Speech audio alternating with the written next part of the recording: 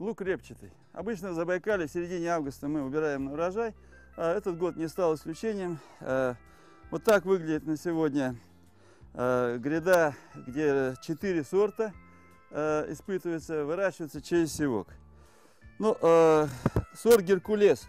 Я бы не сказал, что он оправдывает свое название, потому что ну, самые большие луковицы вот э, здесь вот есть, масса, наверное, граммов 150, не больше.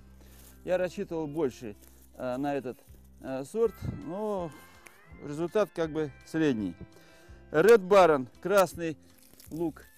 Ну, это традиционный лук, который мы выращиваем уже 10 лет. Э, ну, обычный размер, стандартный э, лук на любителя. А следующий сорт Центуриот, вот по крайней мере на нашей гряде, вот Центурион показал наибольший урожай. Видите, Э, луковицы такие же круглые, как у геркулеса, и в среднем покрупнее. Если посчитать квадратного метра, то будет урожай выше, чем у геркулеса, ну и Ред Барона.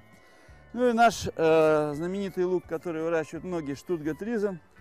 Э, лук э, с плоскими луковицами, вот такими. Ну, я думаю, размер нормальный, стандартный.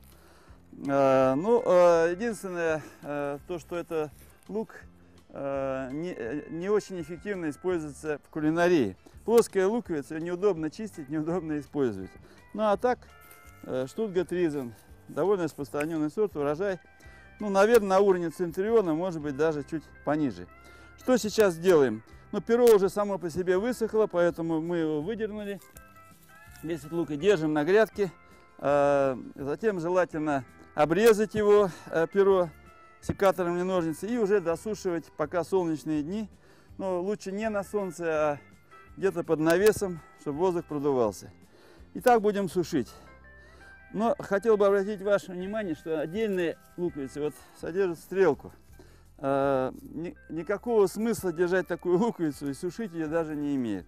Используйте сразу в пищу, потому что она, она не сохранится. К сожалению, ну, таких растений э, на грядке бывает иногда много, но если у вас всего хранился э, хорошо, э, значит, и посадили вы качественно и ухаживали за луком нормально, то таких растений вот со стрелкой э, много не бывает.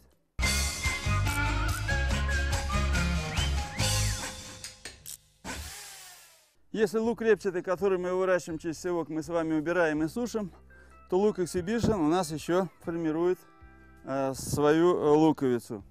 И я думаю, уборка будет либо в конце августа, либо в начале сентября. Все будет зависеть от погодных условий. Ну а пока э, отдельные луковицы вот на нашем участке уже достигли массы, мне кажется, 600 граммов как минимум. Э, я надеюсь, э, личный рекорд 1 килограмм 7 граммов побить в этом году. Ну, на некоторых э, луковицах э, это вполне вероятно, на некоторых растениях. И обратите внимание, значит, ни одного растения, пораженной луковой мухой, нет. Это э, вариант, когда мы выращивали с пикировкой через стаканчики. А вот так выглядят луковицы, которые выращивали э, без пикировки рассады. Конечно, они примерно ну, в два раза или в полтора раза мельче. Еще раз повторяю, нужно иметь 25 стаканчиков, 25 растений рассады. Это вполне достаточно, чтобы посадить один квадратный метр и получить примерно 15 килограммов великолепного по качеству лука Exhibition. Но ну, это касается лука. А что касается чеснока, то вот благодаря обильным дождям, э, вернее из-за обильных дождей, значит он э, полег, что не совсем, конечно, хорошо. А, правда, вот новый сорт, который я изучаю из Дальнего Востока, он э, стоит, но он поздний. Посмотрим, какие будут результаты. А вот наш муштибийский местный заганский. Тем не менее, перо еще достаточно зеленое, а убирать его рано. Поэтому я советую провести полив. Вот я полив уже провел. Ну и если у вас почва глинистая, то э, можно луковицы оголить вот так. Мы же сажали рядами. Или разрыхлить. У нас песчаная почва, поэтому для меня достаточно просто разрыхлить между ряди. Ну, для лучшего формирования луковицы, конечно, нужна более рыхлая почва. Повторяю, на глинистой почве лучше э, луковицы оголите.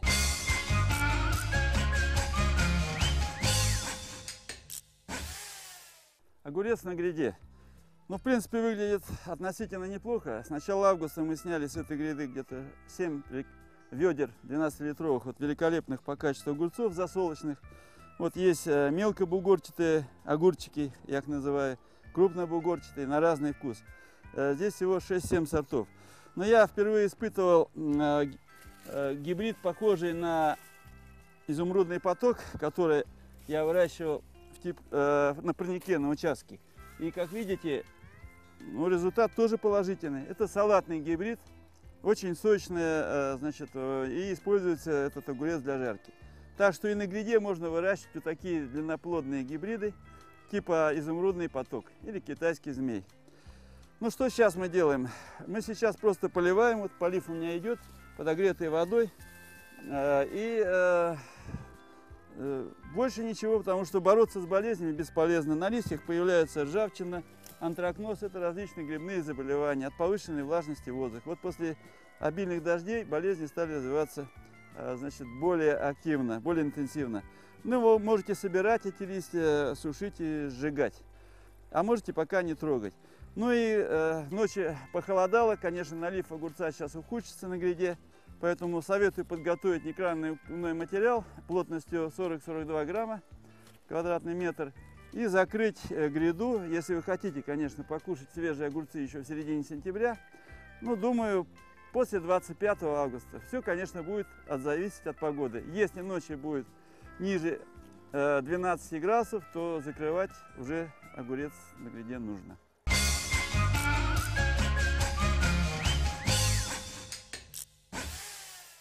Наконец, хочу поделиться своим опытом э, выращивания картофеля по сидеральному пару.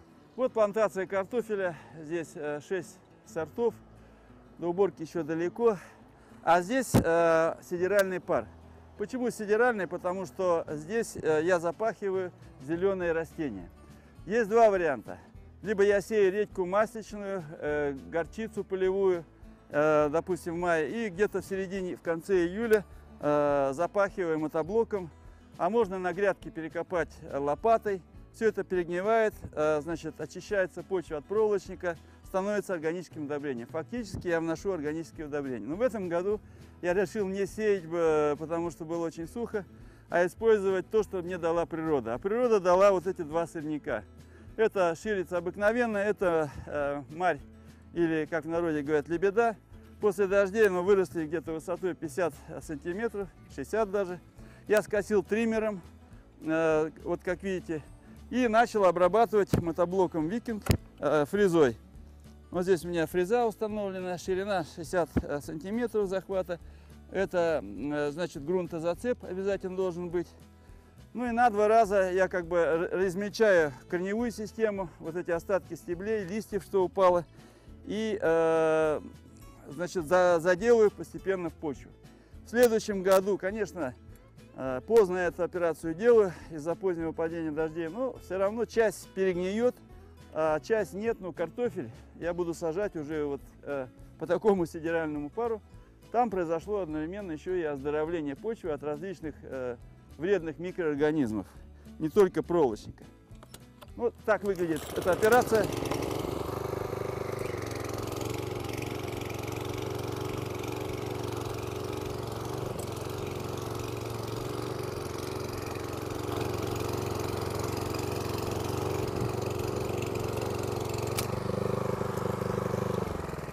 Как видите, все достаточно просто. Иметь мотоблок сегодня на участке, я думаю, обязательно нужно, но он должен быть универсальный. Там должен быть и плуг, и окучник, и копатель, и вот такая фреза.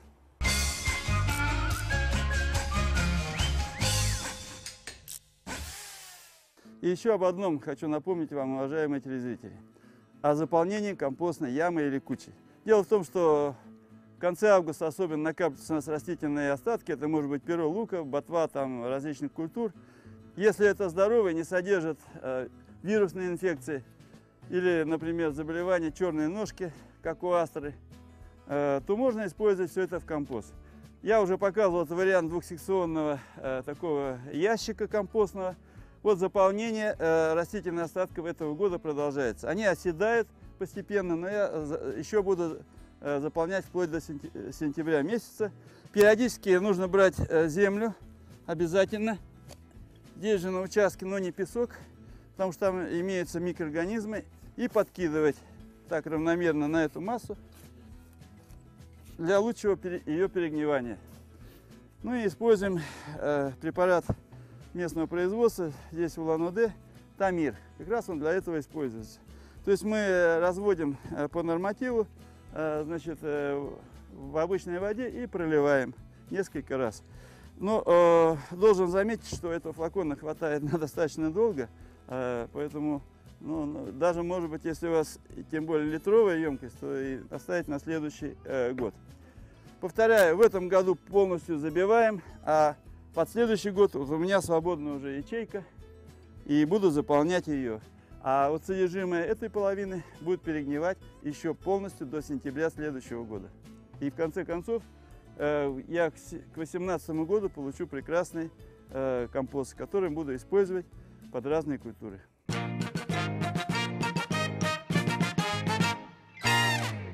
Продолжаю, уважаемые телезрители, отвечать на ваши вопросы. Их не так много, но тем не менее э, они поступают в адрес программы. Так, Галина Ивановна, город Улан-Удэ, у нее сразу два вопроса. В 2013 году посадила черную смородину сорт Инжай и памяти Лисовенко, это алтайский сорт. Почему у сорта Инжай нет ягод уже второй год, хотя обильно цветет? Но у меня такое ощущение, что вас обманули, потому что такого быть не может. Янжа – это один из э, интересных новых сортов бурятской селекции. Ну, я имею в виду черной смородины. С автором я разговаривал, поэтому это какое-то необычное явление. Скорее всего, э, вам э, продали другой какой-то сорт, не плодоносящий. Уберите его. А вообще э, сорт стоит того, чтобы иметь на участке. Напоминаю, янжай. И второй вопрос. Где приобрести э, саженцы черной смородины виноградной, которую вы показываете в своей программе? Но сейчас очень много сортов крупноплодной черной смородины выведено, в том числе и алтайской селекции.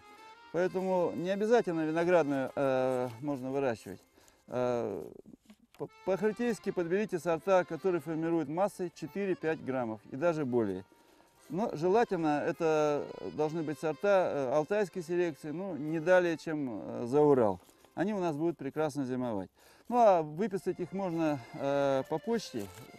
Э, иногда, значит, алтайские саженцы у нас привозят и продают. Так что я не вижу особых проблем. Спасибо, Галина Ивановна, вам за вопросы. Но у меня есть еще телефонный э, вопрос. Э, все спрашивают, будут ли в этом году ранние осенние заморозки. Ну, к сожалению, э, я не могу сказать. Э, вероятность этих заморозков, она всегда существует, но э, последние годы, раньше 10 э, сентября в районе Уланды, например, заморозков не бывает. Все-таки движение у нас идет с весны на осень, э, летнего периода вегетационно, поэтому я так думаю, что и в этом году, наверное, после 10 будут заморозки. Хотя с природой шутить очень сложно, бывают у нас и непредсказуемые вещи, но будем надеяться, что ранних заморозков не будет, потому что они наверняка повредят э, нашему урожаю и вообще нашим планам. Пусть будет у нас хорошая, теплая осенняя погода с поздними заморозками. Ну а с вами, уважаемые телезрители, прощаюсь ровно на одну неделю. Э, и считаю, что в ближайшие дни э, мы должны активно поработать на наших участках, несмотря на то, что у вас огромное, наверное, желание закончить этот сезон, но еще рано. Работы нам предстоит много. Хочется пожелать всем хорошей, ясной, теплой, солнечной погоды. Всего доброго. С Абсолютом выгодно. Сок Голд литр 93 по суперцене 49,99. Абсолют. Гарант низких цен. Когда нет времени, ты уже не знаешь, где искать дальше. Искать не надо. Качественные продукты и товары для дома всегда под рукой, всегда в Титане.